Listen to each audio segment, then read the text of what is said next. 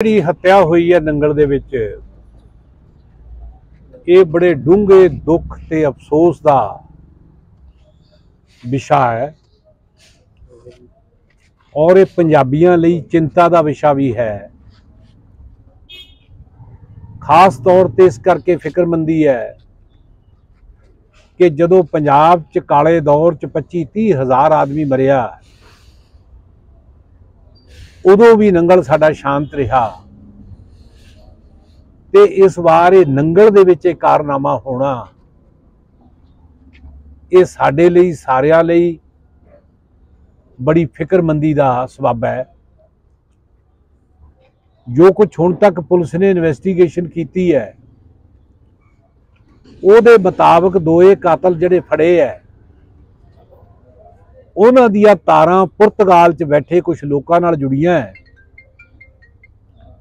ਜੇ ਇਹ ਗੱਲ ਸੱਚ ਹੈ ਸੱਚੀ ਮੁੱਚੀ ਪੁਰਤਗਾਲ 'ਚ ਬੈਠੇ ਬੰਦਿਆਂ ਨਾਲ ਜੁੜੀਆਂ ਹੈ ਤਾਂ ਇਹ ਮਾਮਲਾ ਅੰਤਰਰਾਸ਼ਟਰੀ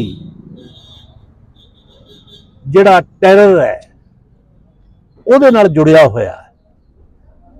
ਮੈਂ ਨਹੀਂ ਸਮਝਦਾ ਕਿ ਪੰਜਾਬ ਪੁਲਿਸ ਇੰਟਰਨੈਸ਼ਨਲ ਟੈਰਰ ਦੇ ਮਾਮਲਿਆਂ ਨੂੰ ਕੱਲੀ ਸੁਲਝਾਉਣ ਚ ਸਮਰੱਥ ਹੋਵੇ, ਇਸ ਕਰਕੇ ਮੈਂ ਸੂਬਾ ਸਰਕਾਰ ਤੋਂ ਮੰਗ ਕਰਦਾ ਹੈ ਕਿ ਇਹ ਮਾਮਲਾ ਤੁਰੰਤ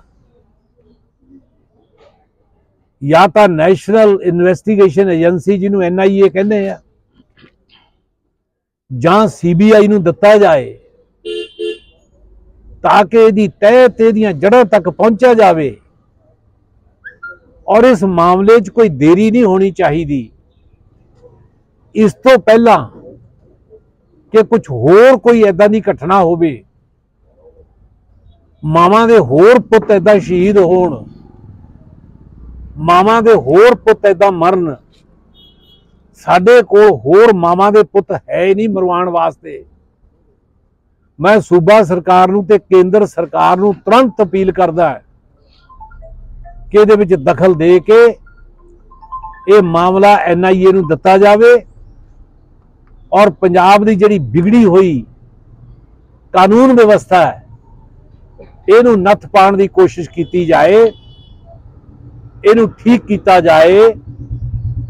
ਵੈਸੇ ਇਹ ਮਿਸਾਲ ਰਹੀ ਹੈ ਕਿ ਜਦ ਜਦ ਗੈਰ ਕਾਂਗਰਸੀ ਸਰਕਾਰਾਂ ਪੰਜਾਬ 'ਚ ਬਣੀਆਂ ਹਿੰਸਾ ਵਧੀ ਹੈ, ਤੋੜ ਫੋੜ ਦੀਆਂ ਤਾਕਤਾਂ ਨੇ ਜ਼ੋਰ ਫੜਿਆ, ਫੁੱਟ ਪਾਉ ਤਾਕਤਾਂ ਨੇ ਜ਼ੋਰ ਫੜਿਆ, ਲੋਕਾਂ ਨੂੰ ਬੰਦੀਆਂ ਪਾਣ ਦੀਆਂ ਜਿਹੜੀਆਂ ਤਾਕਤਾਂ ਹੈ ਤੇ ਦੇਸ਼ ਦਰੋਹੀ ਜਿਹੜੀਆਂ ਤਾਕਤਾਂ ਹੈ, ਉਹ ਹਮੇਸ਼ਾ ਉਹਨਾਂ ਨੇ ਆਪਣੀਆਂ ਸਰਗਰਮੀਆਂ ਵਧਾਈਆਂ ਹੈ। ਸੋ ਇਸ ਕਰਕੇ ਇਹ ਸਾਡੇ ਲਈ ਬੜਾ ਫਿਕਰਮੰਦੀ ਦਾ ਸਵਾਲ ਹੈ। ਮੈਂ ਪ੍ਰਾਰਥਨਾ ਕਰਦਾ ਸੂਬਾ ਸਰਕਾਰ ਨੂੰ ਕਿ ਤੁਰੰਤ ਇਹਦੇ 'ਚ ਕਾਰਵਾਈ ਕੀਤੀ ਜਾਏ। ਨਹੀਂ ਤਾਂ ਲੋਕ ਮਜਬੂਰ ਹੋ ਕੇ ਸੜਕਾਂ ਤੇ ਆਣਗੇ ਔਰ ਮੈਂ ਐਸਐਸਪੀ ਸਾਹਿਬ ਨੂੰ ਵੀ ਕਹਿਣਾ ਚਾਹੁੰਦਾ ਕਿ ਇਹ ਐਸਐਚਓ ਨੂੰ ਬਦਲ ਕੇ ਗੁਜ਼ਾਰਾ ਨਹੀਂ ਹੋਣਾ। ਕੀ ਕਾਰਨ ਹੈ ਕਿ ਲੋਕਲ ਐਸਐਚਓ ਮੌਕੇ ਤੇ ਨਾ ਪਹੁੰਚ ਸਕੇ? ਰੋਪੜ ਤੋਂ ਐਸਐਸਪੀ ਸਾਹਿਬ ਮੌਕੇ ਤੇ ਪਹੁੰਚ ਜਾਣ। ਇਹਨਾਂ ਸਾਰੀਆਂ ਚੀਜ਼ਾਂ ਨੂੰ ਦੇਖਣ ਦੀ ਲੋੜ ਹੈ। ਇਹਨਾਂ ਸਾਰੀਆਂ ਚੀਜ਼ਾਂ ਦੇ ਡਿਪਾਰਟਮੈਂਟਲ ਇਨਕੁਆਰੀਆਂ ਖੋਲ ਕੇ ਪੁੱਛਗਿੱਛ ਕਰਨ ਦੀ ਲੋੜ ਹੈ।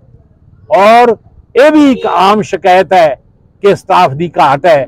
ਜਿਹੜੀ ਸਟਾਫ ਦੀ ਘਾਟ ਹੈ, ਉਹ ਵੀ ਤੁਰੰਤ ਪੂਰੀ ਕੀਤੀ ਜਾਵੇ ਤਾਂ ਕਿ ਲੋਕਾਂ ਦੇ ਜਾਨ ਮਾਲ ਦੀ ਰਾਖੀ ਹੋ ਸਕੇ। ਠੀਕ ਹੈ